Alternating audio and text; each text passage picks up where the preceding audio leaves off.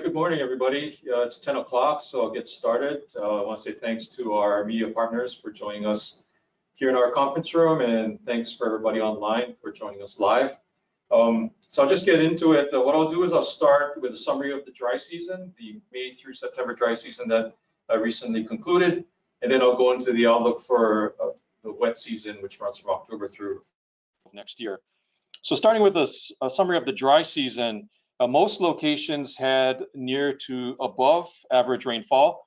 Uh, unfortunately, that's not what the forecast called for. We uh, forecast for below average rainfall at the start of um, at start of the dry season uh, back in May, and um, there are a couple of reasons um, for that uh, that forecast uh, error, I guess you could say. one was that the wet season started um, had an extension. We had a late start to the dry season we had uh, the latest Kona low in at least 20 years, so that brought a fair amount of rainfall to the state. And then later on in August, we had Hurricane Hone, which you know, we can't foresee that uh, far in advance, but that did have a, a, significant impact in terms of rainfall across the state of Hawaii. But uh, once June rolled around, then the dryness really kicked in, and and by late June, we already had uh, drought conditions uh, reported across the state. And then the drought uh, spread and intensified through July and into mid August. And so by early August, we had severe drought, which is D2 on the US drought monitor map in all four counties across the state, and even extreme drought, which is the D3 category in the drought monitor in the leeward areas of Haleakala and Maui. Um, and what that did was, in addition to the mainly agricultural impacts that we saw, we had some uh, water impacts as well, uh, from especially for those on uh, water catchment and uh, who depend on surface water diversions, uh, on, especially in Maui County. And then there was a significant increase in brush fire ignitions, um, especially in July. We saw uh, quite a number of fire ignitions, including pretty serious fire on the leeward side of Kauai um, that caused quite a bit of concern. But as I mentioned, in late uh, August, we had Hurricane Hone come around. And so that eased the drought um, in leeward um, portions of leeward Maui, and then eliminated drought on the Big Island because the Big Island got quite a bit of rainfall, 20 to over 30 inches of rain, especially in, on the east and the uh, southeastern flanks of, of, the island. And so that really uh, knocked drought down on that island but once uh, December, uh, excuse me, September rolled around, then things dried out quite a bit again. So uh, um, Maui County, Kauai, and then leeward parts of Oahu uh, started to dry out, and, and even now into into October, we're seeing drought starting to expand and intensify again. Um, windward Oahu and most of the Big Island actually had uh, wet conditions during September, so they uh, those areas did not see an expansion of drought. So looking at the numbers, we ended up with the ninth wettest dry season in the last 30 years. Uh, that wasn't quite uh, where I was expecting in terms of the statistics, but you know it is what it is. Um, we had some uh, curveballs thrown at us uh, in terms of of um, the rainfall, but we still ended up with significant dryness in parts of the state. So looking forward, uh, the outlook for the wet season, which runs from October through next April, NOAA's Climate Prediction Center uh, said that La Nina is favored uh, to emerge in the tropical Pacific by the uh, end of November, and then is expected to persist until spring of next year.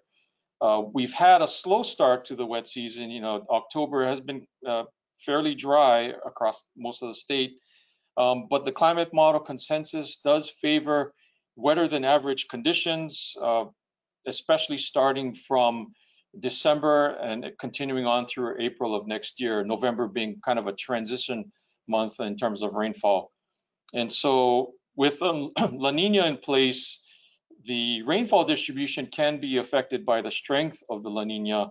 If you have a moderate to strong La Nina event, then uh, there's a higher uh, chance of a higher probability of more trade wind days than usual during the wet season. And so that'll tend to focus rainfall more on the east facing windward slopes and when you have a weaker La Nina event, you can have more low pressure systems around the state, more Kona lows, for instance, and that'll produce more leeward rainfall.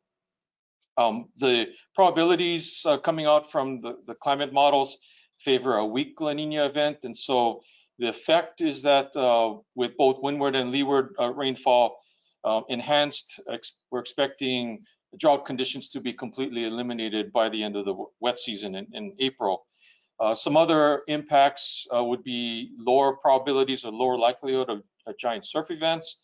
And then with the enhanced rainfall and you know re, um, the reduction of uh, dry forage or you know more growth um, in the vegetation, then that greatly re reduces the uh, chance of uh, wildfires during this time of year, which is a good thing. Um, on on the bad side, looking way down the line, perhaps next summer with the the increase in fuel loads, depending on what happens next summer, uh, you know, there may be a higher risk for um, more wildfires. But as of right now, you know, it's, it's, it's too far to know what the, the climate picture is going to look like next summer. It's way too early. But uh, if we do see the enhancement of rainfall, then you know, we're going to have a lot more fuels uh, available.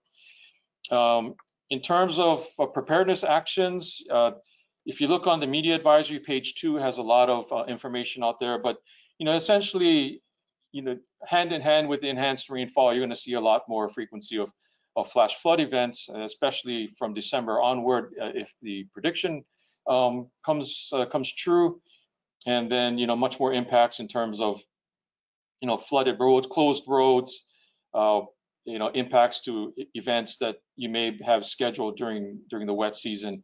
Uh, more chance of thunderstorms and of course lightning uh, associated with it.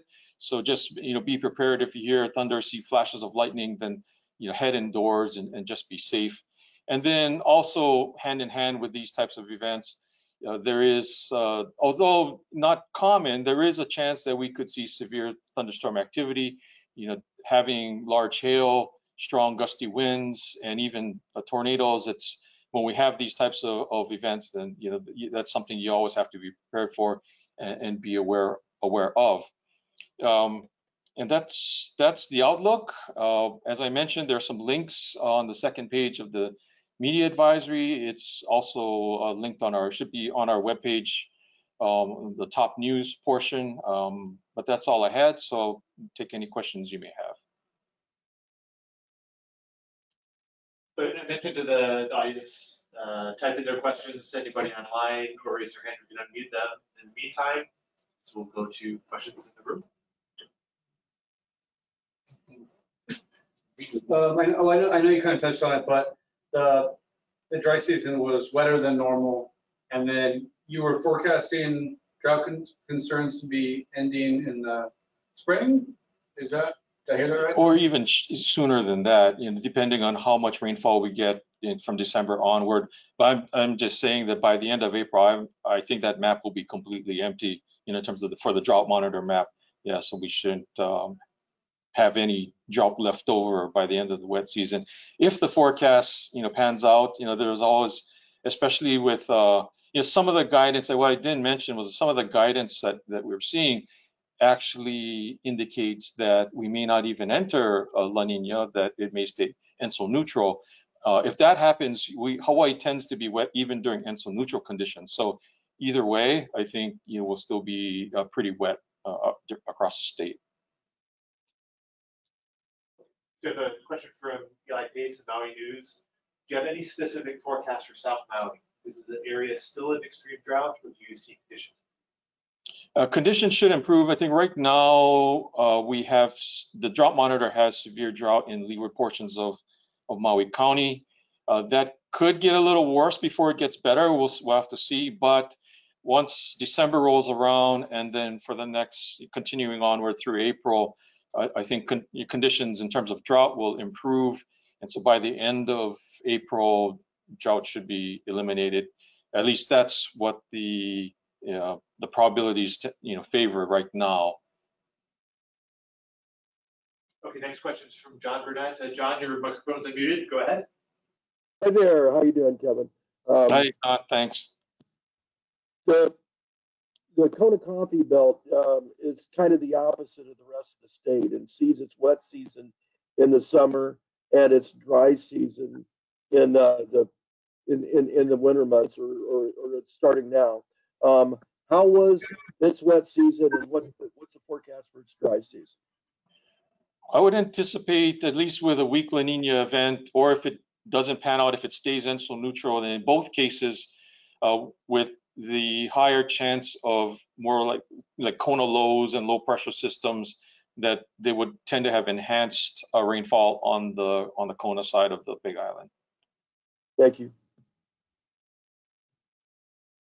The follow-up question from Maui News. Uh, Thank you. Do you have any advice for residents regarding the drought? Uh, with the drought, uh, you know, it, it at least until the, the wet season, the enhanced rainfall really kicks in, you know, it um, conditions are pretty dry out there. So take precautions in terms of, you know, not uh, avoiding uh, situations where you might cause ignitions of wildfires. Um, and terms of if you're on, you know, it still pays to conserve water as much as possible, especially if you're, for sure, if you're on water catchment system, but even in areas such as upcountry and then areas of West Maui where they depend more on surface water diversions, uh, surface water sources, then um, you know it, it always pays to help you know help the Department of Water Supply conserve and and uh, ensure that they have adequate uh, water supplies uh, for the, at least for the next few months. And then if the wet season really kicks in in earnest, then you know things should improve um, you know in those areas.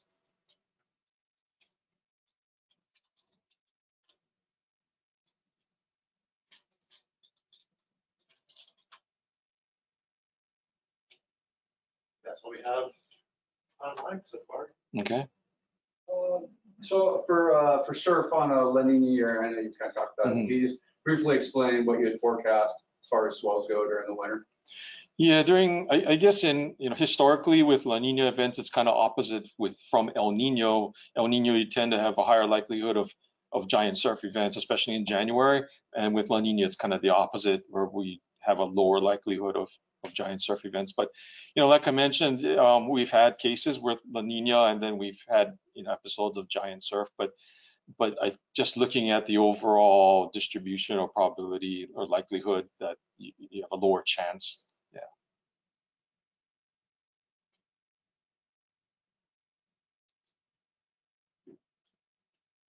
Good. Okay, if there are no questions, no other questions, uh, thanks everybody and be safe out there. Uh, be it either with dry conditions, the wildfires, all stay tuned to the weather service and the emergency management partners. And uh, of course, if the wet season and flooding uh, takes place, have a plan, uh, prepare in advance um, and know, know your routes if you're in flood prone areas and things like that. And don't drive across flooded streams or hike across, hike across swollen streams. Okay, thank you.